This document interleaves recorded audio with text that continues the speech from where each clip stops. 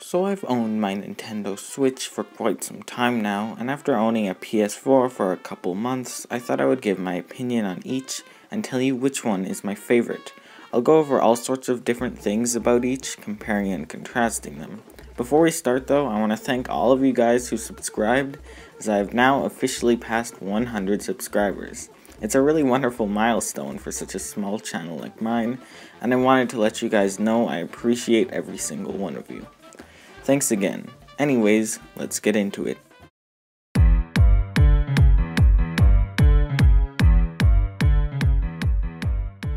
Okay, so to start it off, let's talk about the most important thing, the games. Alright, so I've been thinking about this for quite some time, and I honestly don't know if I can come to a conclusion. Both consoles have some absolutely amazing exclusives, like Breath of the Wild and Smash Bros. on the Switch, and Horizon Zero Dawn and God of War on the PS4. Apart from exclusives, they both have tons of great indie games and games that aren't on the other console as well. The Switch has games like Cuphead, and the PS4 has Persona 5 and The Last of Us Remastered, both games that I adore. But I must say, even though in terms of games, the consoles are probably about equal, one thing really does decide it for me the price. I can't deny that the PlayStation Store prices are vastly superior to the Nintendo eShop prices, and even first party exclusives. Breath of the Wild is still around $80, while Horizon Zero Dawn can be purchased for under $20. Only brand new PS4 games have the steep $80 price tag. Plus, there's way more sales on the PlayStation Store, and they're a lot better than the eShop ones. I bought Resident Evil for $6 on my PlayStation, and it was on sale for 20 on the eShop. I'm gonna have to give the games to the PS4. The next category is another rather important part of both of these consoles, the controllers. The PS4 has the DualShock controller, while the Nintendo Switch has the Joy-Cons. Okay, so to me, this is really a no-brainer. I gotta say, if there's one thing I absolutely hate about the Switch, it would have to be the controllers. The Joy-Cons are total garbage, in my opinion. The gimmick is a good idea, that it can be one controller or two separate controllers, but geez, just feel and seem like they're so cheap. I'm one of the people who sells the original Joy-Cons, and I really do despise them. The lights on the left Joy-Con broke, my right joystick is all bumpy and messed up, and the drifting, oh my gosh, the drifting. The drifting on my Joy-Cons is so unbearable. I have found ways to temporarily fix it, but when that wears out, it's awful. And it wears out a lot faster now. I shouldn't say that I haven't had any drifting issues with the DualShock, but they've actually gone away now. Anyways, I have so many horrific memories of trying to do the Sans boss fight, and literally any Cuphead boss, and drifting just ruining my life. So if you couldn't tell, this category goes to the DualShock. It's a nice size, feels pretty light, and I like the big button in the middle. And the trigger buttons are a lot more satisfying than the clicking buttons on the Joy-Cons. Okay, so I try not to have any ties on this list, but I truly think that the UI for both consoles does come out at a tie.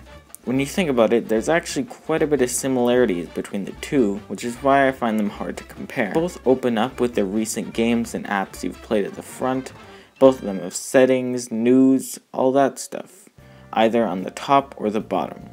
I do like that you can customize how the PS4's UI looks, like as of now I have a sick Persona 5 theme, and I really wish the Switch had done this too. It has the option between dark and light, but that's just about all. Dark is obviously the best though. I would probably give this to the PS4 just because of the themes, but the Switch has an easier account system, and the eShop is just way better to navigate. With graphics, it is a bit of a one-sided fight. The Switch doesn't compare to the PS4, and that's a fact. But at least Nintendo knows this, so they don't go and try to make giant graphical masterpieces. Yes, Breath of the Wild and Mario Odyssey look great, but they really don't compare to games like Horizon Zero Dawn. If there's ever a game on both consoles, I always find myself buying it on the, my PS4, mainly because of the graphics, but like I said, sometimes the price as well. Performance is a bit of a different story. Once again, I'm really not sure I notice a difference, excluding handheld mode with the Switch. I've never really noticed lots of lag in any game. I've played, and both consoles have equally crashed on me sometimes. Storage is also linked to all this stuff, and it's a little sad when you really look into it. I got a PS4 Slim with a full terabyte of storage, and my Switch is just a disappointment compared to that. Even with an SD card, it isn't even close. Online features are another rather important part of both systems, and I really can't say much about this, as I don't own PS Plus. I haven't heard any complaints about it, but I don't want to sound biased or anything. Anyways, Switch Online is alright. Actual online multiplayer is usually good, with some games like Smash Bros. getting a little bad at points, but for the most part, it's okay. Similar to PS Plus, Switch Online allows you to back up your data and gives you some free games. With PS Plus, it's usually just some random stuff, but Switch Online has older NES and SNES games. The NES games are alright. I had a great time with the SNES games. I'm still hoping for N64 games though.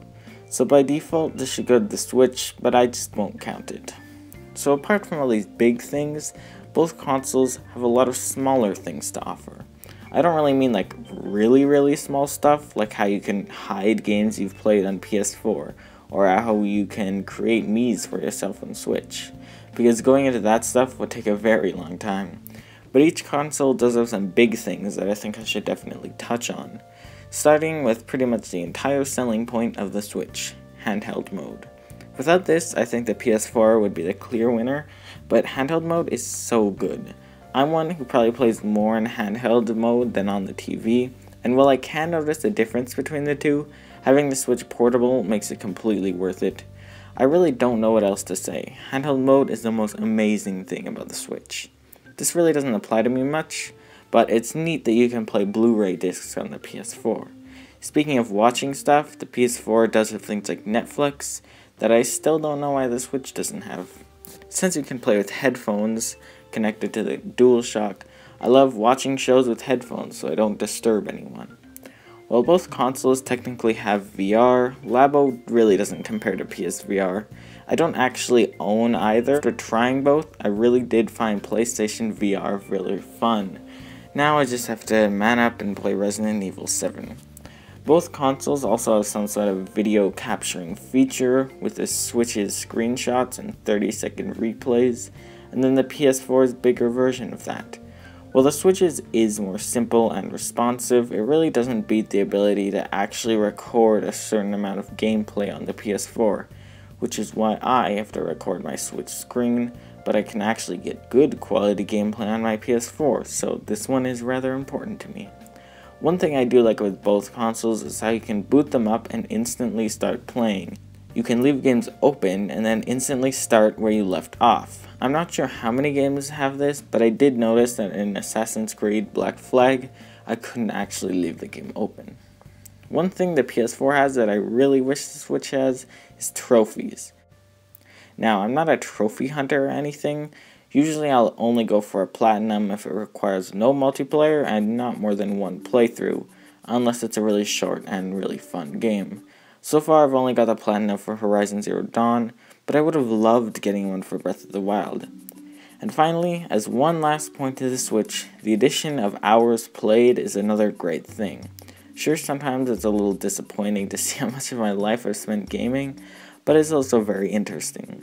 While the majority of PS4 games show how many hours you have in game, it's nice to have an overall view. So going by actual points that I gave out, even though I was rather inconsistent, the PlayStation 4 would be my personal favorite of the two consoles. Now, I do actually agree with this, but it's a tight race.